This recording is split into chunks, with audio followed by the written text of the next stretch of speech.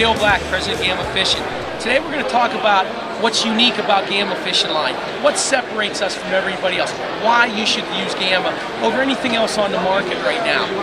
And it's, we have a very unique process that we do on the line. And here's a, here's a little bit of a demonstration or a picture of what we do. When line is extruded and drawn down, you get a long chain structure in the line. We break these chains down and incorporate more bonds. By incorporating more bonds, it allows us to create a line that's going to be stronger, more abrasion resistant, without having to give up the suppleness and the impact strength of the line, which are always the, the, the characteristics of high strength abrasion, always fight impact strength and suppleness.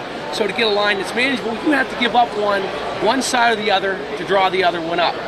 We don't have to do that. And that's what separates Gamma, whether it be our Polyflex, which is our nylon monofilament line, or our fluorocarbon line, whether it be the mainline edge or our, our finesse line fluorocarbon line. That's what separates us from everybody else. Give us a try. I think you'll be very happy with the results. Okay, I have a question for you.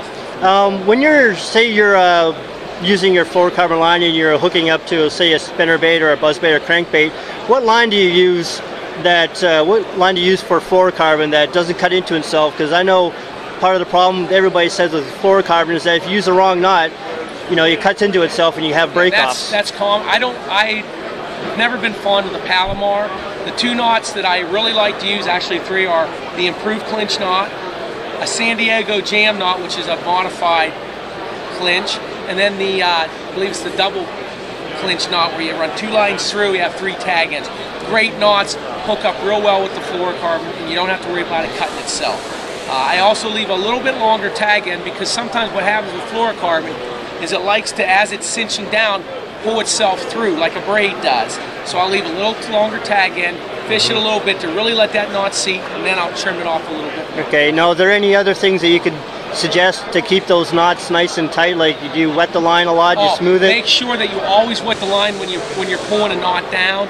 What it does is when you pull a knot down, if you don't wet it, there's friction and heat developed in the line, and you'll actually create a weak spot. And I found this out playing with the smaller diameter braid that you can burn to braid as well. Yeah. Eight pound, tied it, snap, snap. I'm like, oh my goodness, I got some bad braid.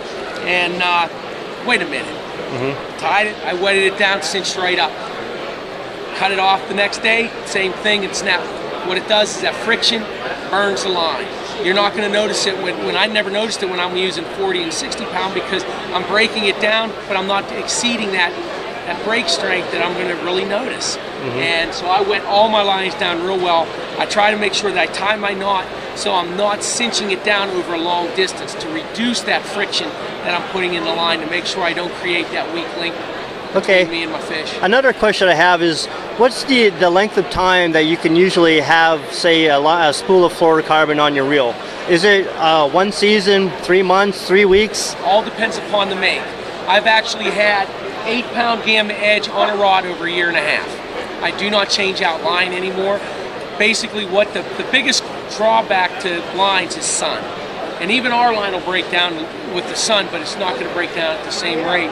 So I keep mine stored right in my rod locker. The one rod I had in my garage unheated, hot, cold, hot, cold, year and a half. The line fished like it did when it was brand new. As soon as I got, right after I caught my first fish, got a little tug on it, fish great. Do you use any type of line conditioner at all? No, but if you're going to use one, Real Magic's not a bad choice. I know some of the guys there, and we've talked extensively about what it would do to the line, and the test that Real Magic has done on the line, and it does not degrade the line. So that's always been a concern of mine. I personally don't use it, but that's the one that, uh, from talking with the guys, knowing what they do and how they test, that's the one I would recommend trying if you're gonna if you have to use it. Okay, and then a question about your uh, your braided line. What kind of lot do you usually recommend to use your braided line? Say you're going to tie like to uh, just a, you know to a jig fishing in heavy cover. I use the same knot, double clinch. Double uh, clinch. You don't use a Palomar knot. Nope, don't like Palomar knots. I don't use it. I try to stick with the same knot through all my techniques, and what that does, it allows me to to get into the habit of constantly tying the correct knot. So uh, the San Diego jam knot's one I really like to do. Uh, it's better than the cinch because you're winding down both lines instead of just one. Uh, the double cinch is, of course, five strands up through, pull tight.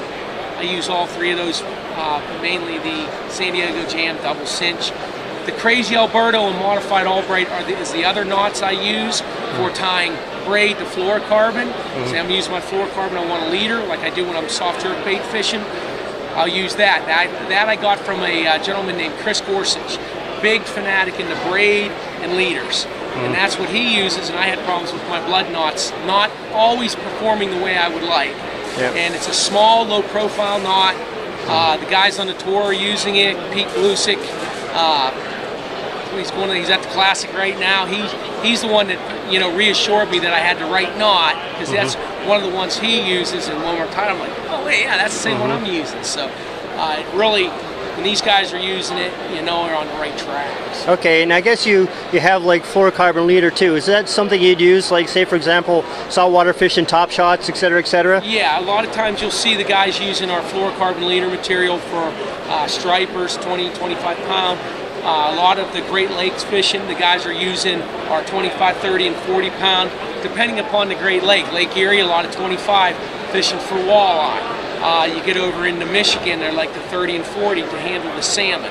And it's really freshwater fishing when you're flipping cover and you want that fluorocarbon leader material, 30 and 40 pound the guys are using.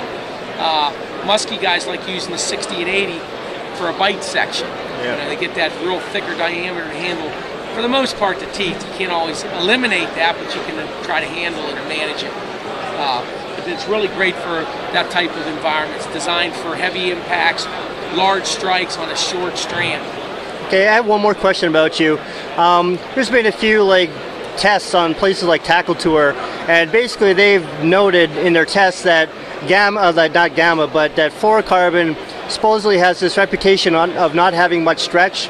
Well, what is what is the, the stretch characteristics of fluorocarbon, and what, does it come back to its normal shape, or what happens when you get stretch on fluorocarbon? Well, you get a high-grade fluorocarbon will stretch.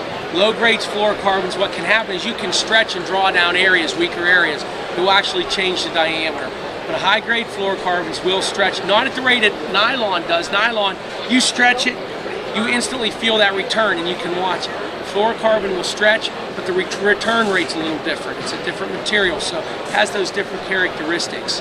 Uh, you can draw down the line again by, you get a snag, you pull real hard. Mm -hmm. You overstretch it, you reach the elastic deformation point, and that stretches that line out and it won't return. It just mm -hmm. stretches and now you've created weak links in the fluorocarbon.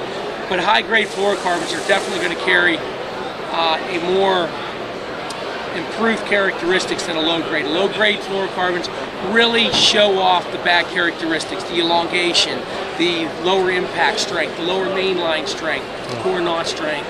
The more you move up in quality, the better those characteristics are going to be.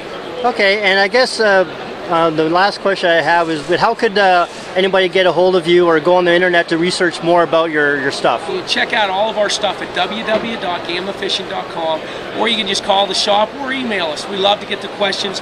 Our goal is to help, excuse me, help make your fishing better and they can reach us right at the shop. All right, thank you very much. Thank you.